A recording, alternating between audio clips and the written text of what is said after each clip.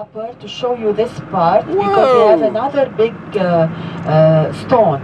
And the Pregnant Woman stone is not the only one. We're in Baalbek, Lebanon, one hour's drive from the Syrian border, here in March 2015. And right now, we're approaching the quarry, or one of the two quarries, from which the giant stones, some 1,200 tons, were extracted. They call this Roman, but it's clearly much older. Had to have been done with most ancient high technology of some kind.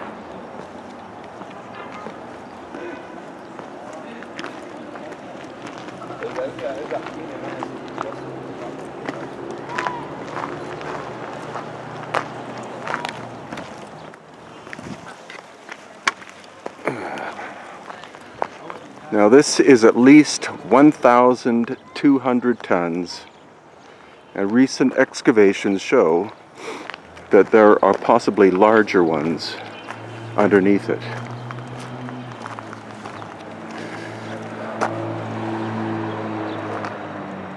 Okay, now climbing up on top of this massive ooh, block of limestone.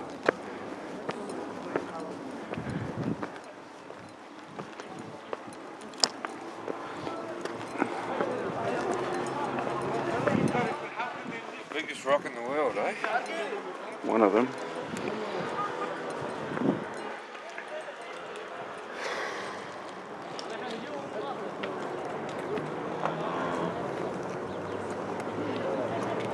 So we're actually in the quarry itself here, and you can see the tool marks and the grayness. So you see a lot of weathering on this surface. This is the very recent, as in less than six months ago, removal of, uh, of material. And you see those interesting almost crisscross cutting marks as well as along the bottom of this block there's a, a continuous line that goes around it as if there was another kind of tool attempting to be used to separate this block from the, uh, the bedrock itself. And underneath an even larger one that they were trying to extract.